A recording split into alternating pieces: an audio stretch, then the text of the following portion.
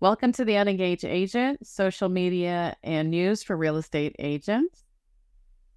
Yeah, and our first topic is the big news that Redfin is leaving NAR, you know, the National uh, Association of Realtors. Um, right. Um, so that's quite interesting. Um, they they have like, obviously a, a, good number of realtors, about twenty four hundred, and uh, those agents are, will now be not part of NAR, uh, not be considered, I guess, realtors. They'll be real estate agents. The, uh, you know, which uphold the standards with code of ethics and so that would be interesting. So those agents would not have to abide by, I guess, not right. If you're not, yeah, I guess, yeah, I guess it won't be part of the code of ethics. Maybe, maybe not. Maybe Redfin will have their own kind of kind of code of ethics, sort of deal.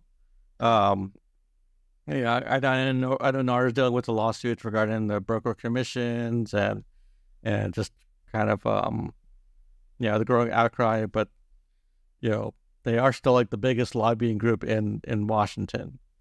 Um, so it's kind of interesting to see what's going to happen in the next couple of steps. Will other kind of companies or b- big um, brokerages leave NAR? You know, um, with with KW or or Remax. You know, think they would join forces or anything like that? Um, I don't know. I don't know. Um, it depends if they if they feel they're getting the value from NAR or not. Um, I think uh, you know I don't know it's not perfect. I know they've done. Uh, there's there's um, some things, uh, some positions they've taken on issues that I don't agree with. Um, but uh, I, I, I do think that they are doing a lot to kind of support the the the, the industry and helping realtors, you know, survive out there. Um, yeah. So it's kind of kind of uh, interesting kind of w- way to see. It. I mean, the important thing to kind of realize is is that the industry is always changing, right? It's not going to be the same. Yeah, not to say it was not the same was it was not the same five years ago uh, before social media. It's not the same as ten years ago or twenty years ago before the internet. It's even last week. You know, it goes so quickly. Yeah, yeah. I mean, it's just one of those evolving things, and and you have to kind of stay nimble, stay um, and kind of um, focus on the uh, focus on the I guess the smaller issues. Focus on helping individual clients, helping you know your buyers find the right home, pipe and sellers sell their home, and right. the the bigger stuff kind of sort itself out. You know, and if right. if things change, um, then you gotta roll with it. Change and, and you roll with it. Yeah, for sure. All right. So I think our other topic was um, Canva Magic, uh, the new updates with Canva. Yeah, they introduced like Magic Studio. Um, they, you know, they've been doing some AI stuff recently, and this is kind of their latest like iteration of that. Um, they have, you know, just if you don't know, they have um, things called like Magic Design or Magic Presentations, where you can tell it like, "Hey, make me a presentation on five best reasons to, to, to move to Tampa Bay, and it will. It'll auto generate all the content for you. And and even with that content, you can still customize it, you know, reword it. And then that goes to with Magic Write, where you can highlight that that group of text and have it rewrite it for you in whatever tone um, you would want it to sound in, whether it's more professional, more layman's terms or like a fairy tale princess story, you know. That's pretty cool. Yeah, and, and even like the, you can have a brand voice. So even you have your brand colors, different ones that you kind of save in Canva, right. you can have your own right. branded voice. So that way, any content it generates, it'll be in that kind of voice. If it's more which is perfect conversational, program, right? Yeah. Yeah, or if it's more, if your if your business is more, um, you know, detail oriented, you want specific, you know, um, you know, or words or lingo and kind of have it kind of have it there, which is quite quite cool. Uh, yeah, and I mean, if you're not using Canva, I mean, we do have it. I think it's in our creator tools, right? I'm not sure. uh, yeah, yeah. I'm sure we have a link uh, uh on our yeah. website uh, to, kind of, to kind of check it out. Um, it, it, I'm just amazed at what it can do on, and it just keeps going. You know, so it's pretty. Mm-hmm.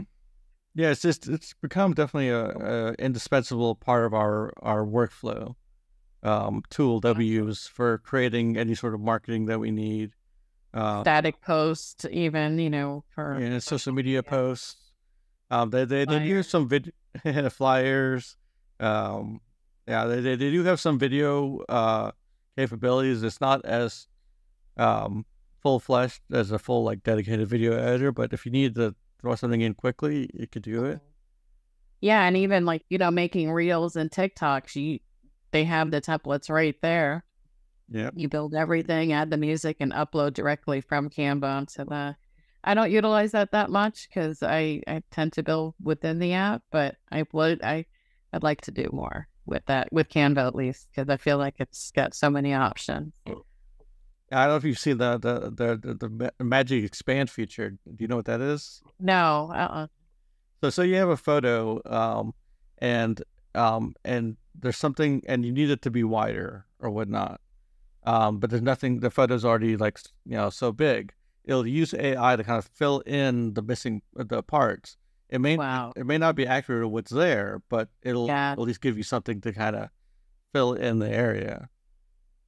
Um, so I thought that was yeah, pretty cool. We've seen different, you know, I mean, with AI, I mean, when it comes to like proof of anything, like anything can be generated, you know, so crazy.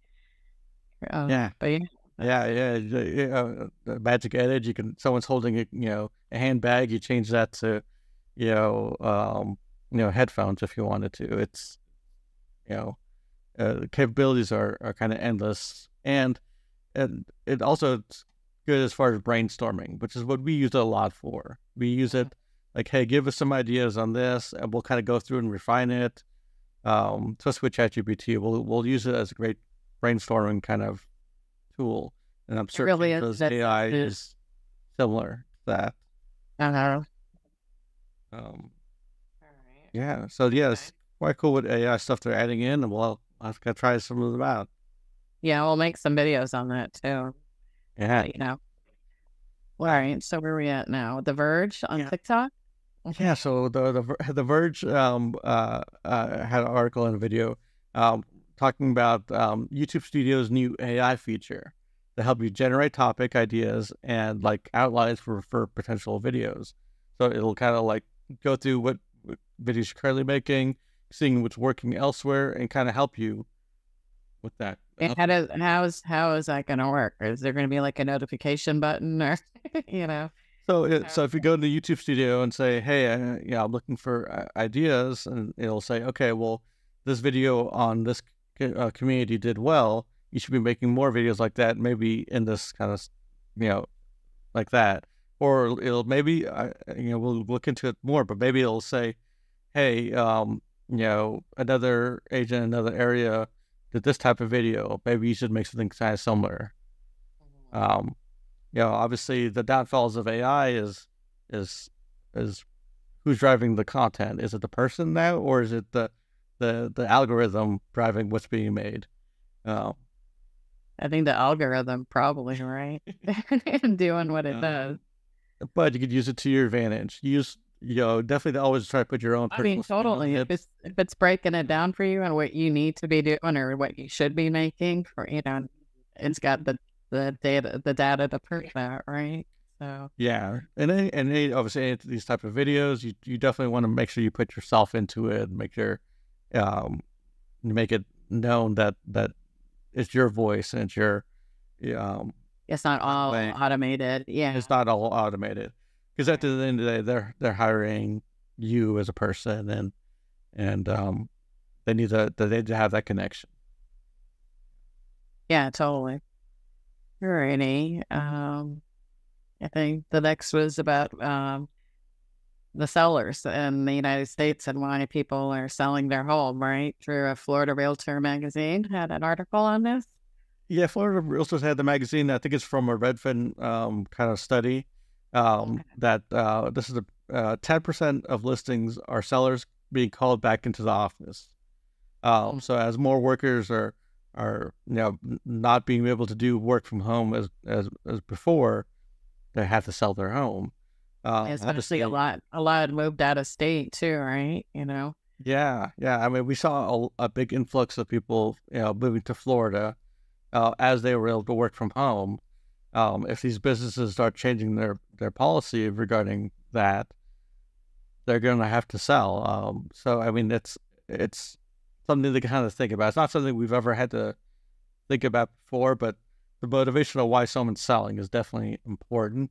And people always ask also, and everyone does have a different reason for, but that's really a high number. That's interesting. You know, well, I mean, it was kind of unknown too, right? Because everything Yeah. happened so quickly. Uh, I mean, a lot of these businesses promise like, "Hey, this is the future. This is what you can be doing. Go live anywhere," and then um, the you know the, they decided to to make a change. Um, It's a shame though. I mean, I I wish it was Yeah. more like an option, you know, versus Of course, yeah. Or if they if they say that you have to be there two out of three days, well, that doesn't help you because you've you're, you're in a different state. So now you have to, right. um, uh, you know, I, I, I, I, my my hope is that more and more businesses see the value of work from home, seeing that this leads to kind of you know more happier employees because they're not sitting in hours, two hours worth of commute time. Traffic. Oh, yeah. you know, and, and it, it definitely leads to a lot better work life balance if you're if you're able to have that extra couple hours a day. Um, There were some other percentages, right? yeah, so they um uh the, they also listed a couple other ones. Uh, nineteen point three uh said they plan to sell, um, and relocate to relocate to a, live in a place that's better aligned with their views on social issues, which is obviously uh that's just idea. If if you know if you want to live somewhere that where your neighbors, you know, want feel at home at home. You know, yeah. yeah, wanna- yeah, yeah. With that, no, do that. That you know that leads on some pass. Um, nineteen percent said uh, lower taxes. Uh, seventeen point nine said uh, concerned about safety and crime, and um, yeah, obviously the the biggest one is the the thirty three point eight percent said they need more space. Um, we all need more space, right? Yeah. I mean, uh, that's that's always uh, the number one factor why people need to move or want. Yeah. Usually the growing, fa- yeah, like growing families. and combined, combined, you know, um, Yeah. combined families. multi generous, yeah, multi generational family. They need that extra room and space. Yeah. Um, yeah, yeah. That's these are all really, you know, understanding reasons why people need to move, and good for you to know that. Yeah. Yeah. That's good.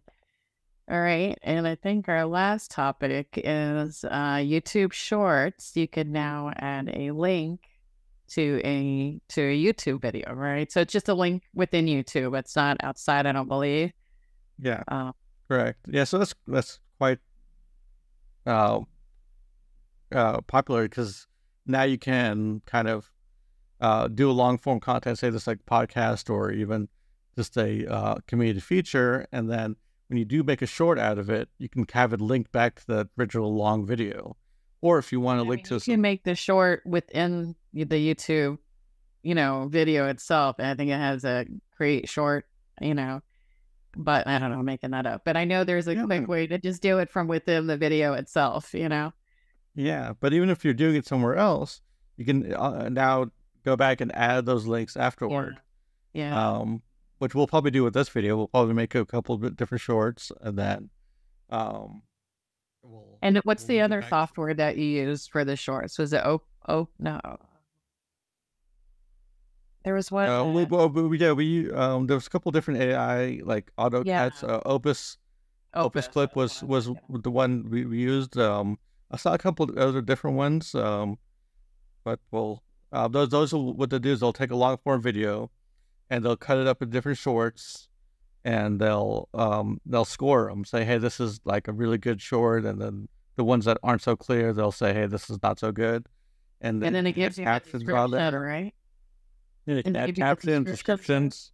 Mm-hmm. Um, I'm not sure if I, I'm not sure if Opus adds the description or not. Um, oh, it might, it might. Um, but yeah, so all these kind of tools to kind of multiply your content. Um, this is probably the best way to kind of put it, right? Yeah, totally. Um, well, uh, I think that's it for this week, right? That's it. Have a great one. I'm Tony. And I'm Patricia.